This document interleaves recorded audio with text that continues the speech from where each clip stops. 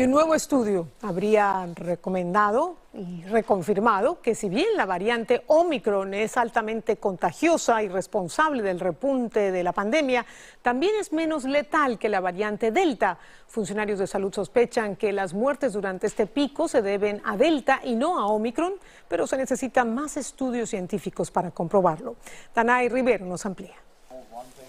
A medida que aumentan los casos de Omicron, se va conociendo nuevos datos sobre la altamente contagiosa variante, y es que un estudio reveló que las infecciones por Omicron se asocian a una reducción del 91% del riesgo de muerte en comparación con la variante Delta.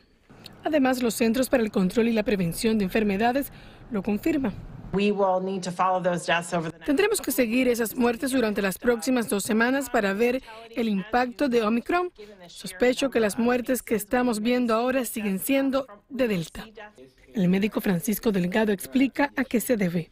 La variante Delta tenía un porcentaje de muertes mayor, a veces en algunos casos hasta 3 o 5%, que podían complicarse o morir. En cambio, la variante Omicron es mucho menos tenemos más congestión en los hospitales ahora por la Omicron, porque es mucho más contagiosa, pero la variante Delta es mucho más peligrosa que la Omicron.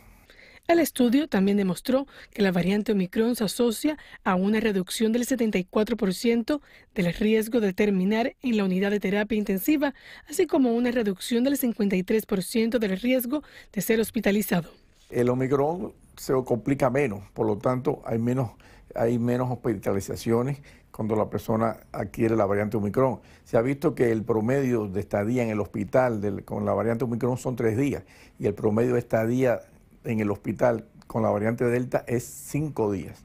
Tanto con Delta como con Omicron, la recomendación de las autoridades de salud sigue siendo la inmunización, pues se reduce grandemente las complicaciones una vez la persona adquiere el virus. Desde Miami, Florida, Danay Rivero, Univisión.